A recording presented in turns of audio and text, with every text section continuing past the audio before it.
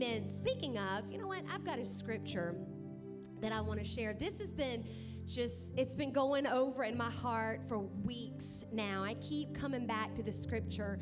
Um, and I really hope that it's an encouragement to you because I've heard over the last few months, and you know, so, well, I'm not the person on the stage preaching, or you know, I, I just, I'm, I just know how to bake, or you know, I'm just a greeter, or I, I just, I can.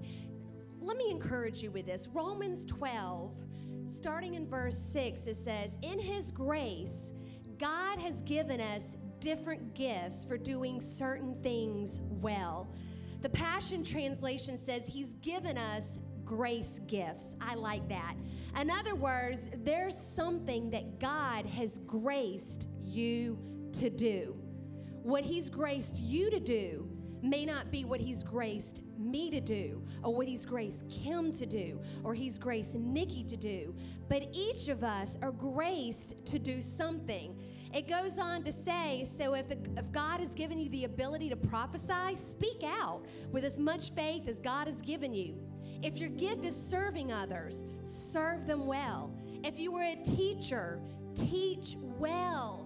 Man, it's a gift to be able to teach others. If your gift is to encourage, be encouraging. If it is giving, give generously. If God has given you leadership ability, take that responsibility seriously. And if you have a gift for showing kindness to others, do it gladly. I want to encourage you not to diminish what God has graced you to do. Don't talk yourself down. Don't say, yeah, but this person, I, I do this all the time because I am not Miss Susie Homemaker. like, that's not me. I'm not this great cook. I'm not this great sewer, crafty. That's not me. And I have found myself many times going, well, this person's just amazing, you know, and then I start to beat myself up. No, no, no. I'm just, that's, I'm not graced to do that, obviously, but I am graced to teach. I am graced to edify and to exhort. And so, you know what I need to do? I need to embrace my gift and I need to use it even more. Let me tell you a little story. this past week, um, I never get sick, ever, never, ever, ever get sick. But I was down for the count for a couple days this week. I mean, I came to work on Wednesday. I had no business being at work. And somebody came into my office and they recognized and they're like, You really need to go home. I'm like, no, I'm good. I'm good. I came to service that night, had no business being at service Wednesday. I about collapsed afterwards, and I spent the next two days in bed.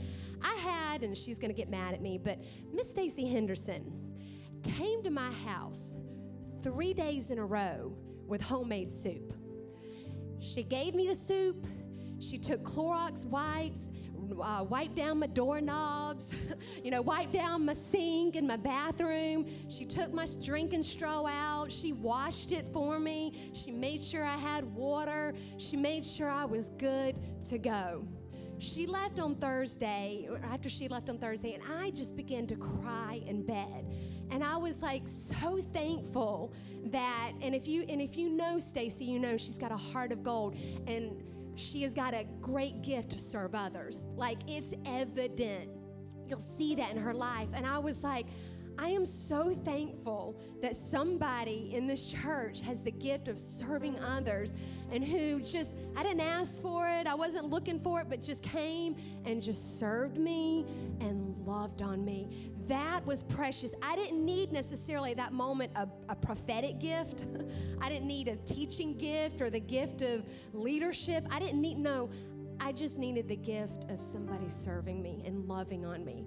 I told my children this morning on the way to church, I said, I just want you children to know. I said, two and a half days I was in bed. I said, not once did you pop your head in to say, Mom, are you okay? Mom, is there anything I can do for you? Mom, I love you. Or you, you know, I said, not once. And they all started giggling and laughing. And I obviously, that's not their gift. That's not their gift, but they are graced to do something. So I just want to encourage you, whatever your gift is, that grace gift, embrace it, and you begin to hone in on it. I was listening, I'm, I'm going through a leadership devotional by John Maxwell.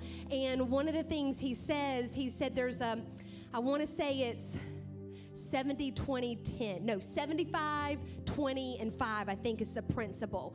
And what he says is spend 75% of your time of what you're really good at. And that was actually powerful to me because I had not heard that before. It says, whatever you're really good at, you spend that 75% to get even better. He said the 20%, those areas that you want to grow in, you spend 20%. 5%, those areas that you're really weak in, that's what you spend your time in. Oh, that might set somebody free because it's like we're just pointing out all the things that we're not good at and I'm, I'm, I'm weak in this area, weak in that, I really got to work. No, no, no, no. You find your strength, you hone in on it, and you begin to strengthen it. Amen?